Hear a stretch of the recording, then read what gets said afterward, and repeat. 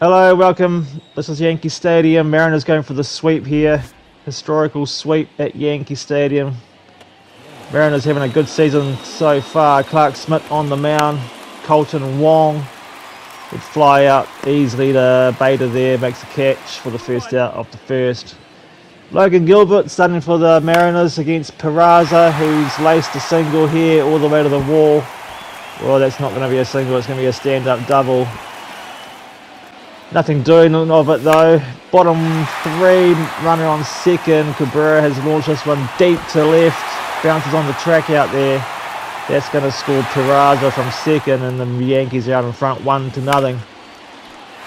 Still bottom three. Stanton will single to left. Great piece of hitting there. Heaps of power.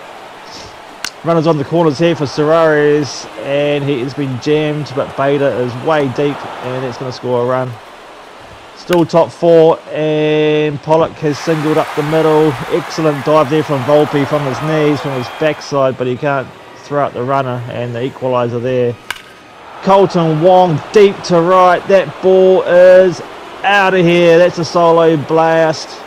The Mariners in the lead here, taking the run one run advantage wouldn't last long as Logan Gilbert would give up the long ball here from Cabrera. That smash out to right. That's hit like a bullet.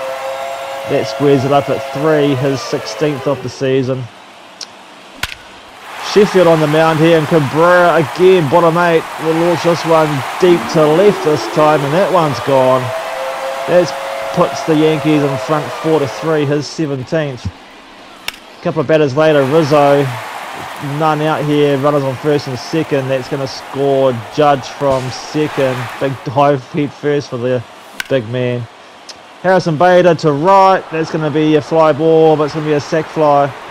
And uh, Kiner-Falefa will just get in under the tag there for a bit of insurance.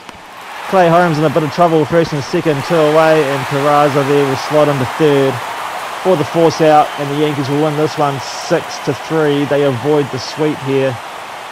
Great win by them. Great pitching. Fans are happy.